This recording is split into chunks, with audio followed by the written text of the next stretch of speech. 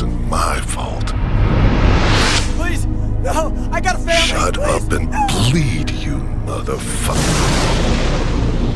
Well, maybe it was my fault, but I had my own problems to worry about. The old man's curse was beginning to piss me off. But then one day, he showed up. Calypso, he called himself.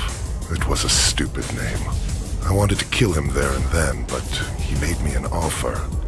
He said he ran some kind of crazy contest. If I won his game, he promised to show me how to bring an end to the curse. No more headaches. As much as I had those old urges of mine, I kept them to myself for the moment. I figured I'd play along with his little game. After all, I could always kill him.